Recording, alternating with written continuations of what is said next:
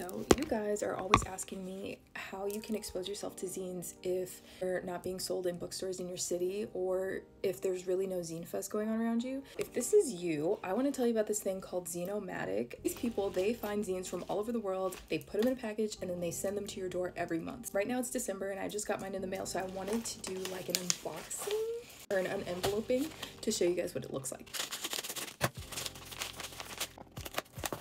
Big envelope. There's gonna be zines in here. Why do I have eyelashes on? Okay, that filter put eyelashes on me, but there's gonna be zines in here. And oh, a closer look at everything. Here's a full color zine called Epic Fail Compilation, a zine about failing instructional musings for encounters and summoning. Ooh, I'm really excited about this one. It says a handbook for amateur magicians by George Milburn. This looks pretty old. I'm not sure if someone made it to look like this or if this is actually a really old copy of this. Okay, judging by the paper quality, this might be kind of old. 1926, boom.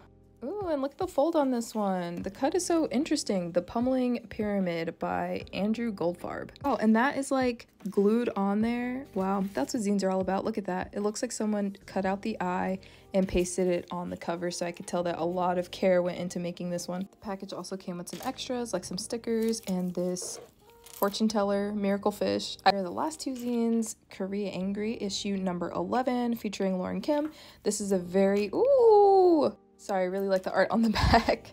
But oh my gosh, okay, I can't wait to read this. This is so cool. It's like claymation, but in a comic. The last zine that came inside, it's called Big Squishy Heart. Oh, and the art is so cute. If you guys have a hard time finding zines in your city, like a lot of people tell me that. A lot of people leave comments saying like my bookstore doesn't sell zines or there's no zine fest in my city. If you have a hard time finding them and you don't want to look online and you want the actual physical zines, I would definitely recommend you checking out Zine-O-Matic and subscribing. I will link them in the caption so you can see all of these cool zines. Look at even this old one. And there's stickers and there's a fortune teller.